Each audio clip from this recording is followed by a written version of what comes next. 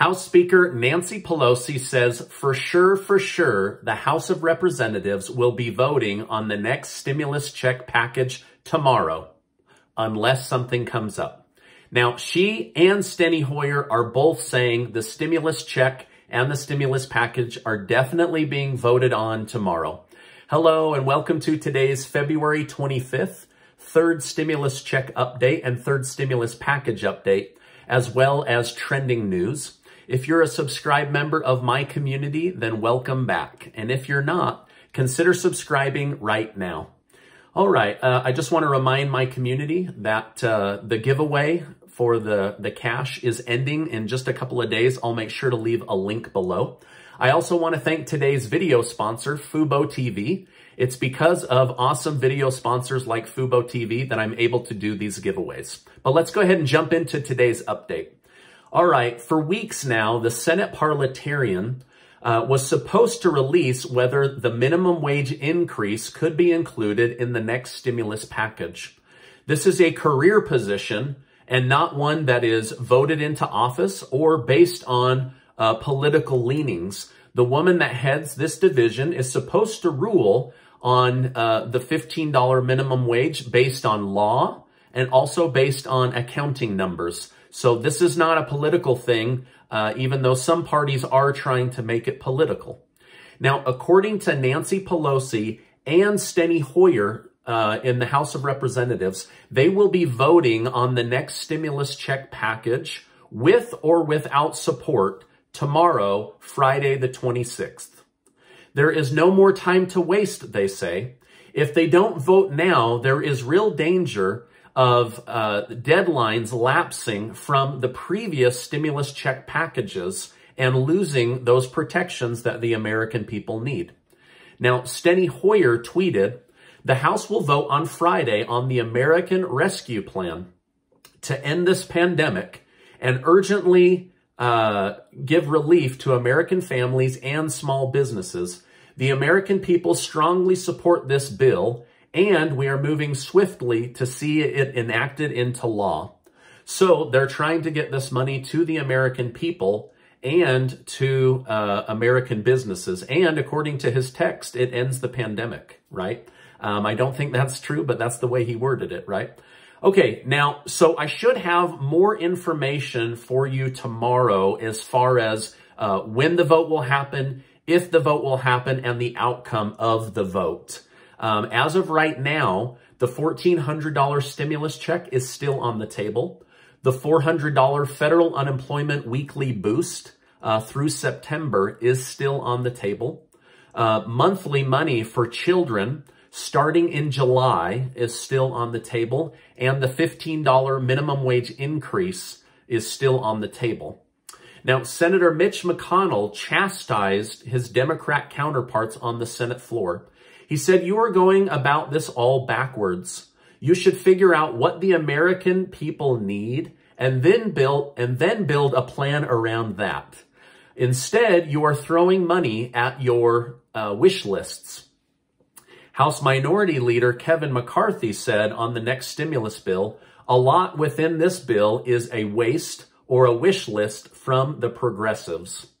Uh, Senate Majority Leader Chuck Schumer said, I've made a pitch today to our entire caucus.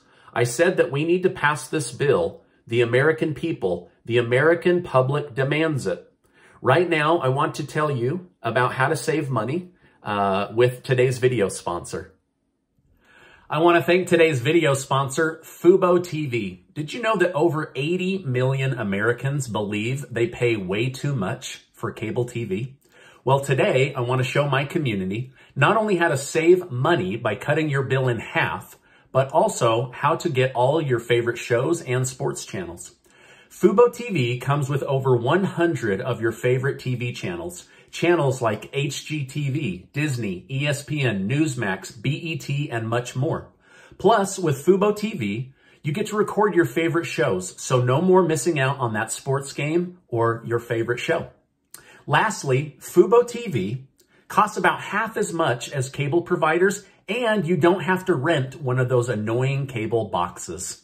Fubo TV is going to give my community a risk-free trial, so that you can try it before you buy it. It only takes about two minutes to sign up and you'll get 15% off your first month. Go to FuboTV.com forward slash Gardner. And to make it easy, I'll make sure to leave a link below.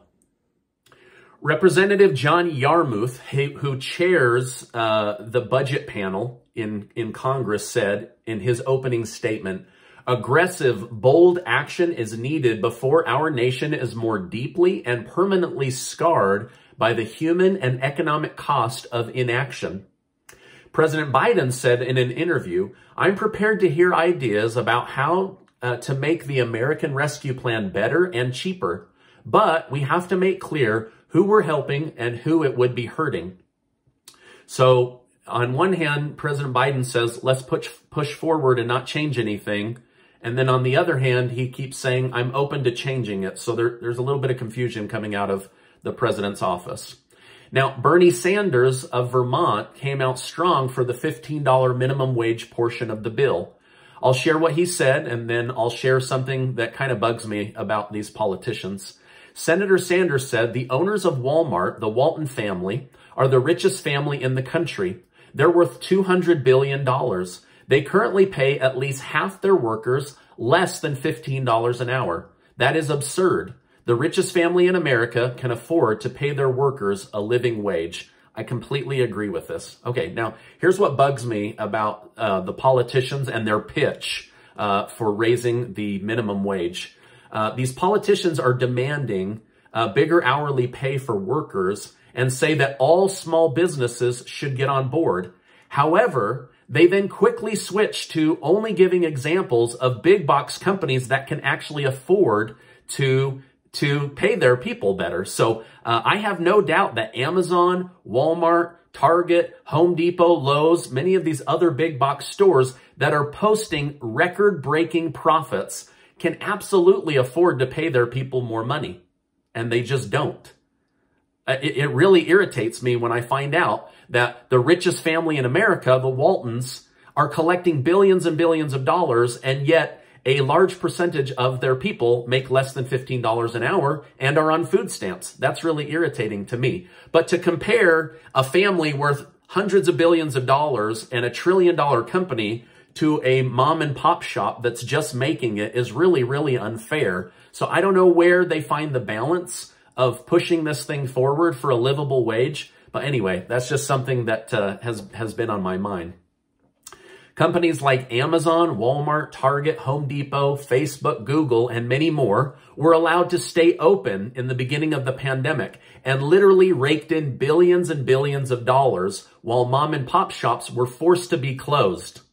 It's, it's simply not fair to not allow everyone to be open and then to try to force everybody to pay these livable wages. It, it, so, I mean, they're really going to have to work through this, okay? I'm not against paying people a livable wage, but this is, this is the, what's going on, right, in the Senate. They're saying, you must do this, you must meet these requirements, and yet they don't have a level playing field for all the business owners out there.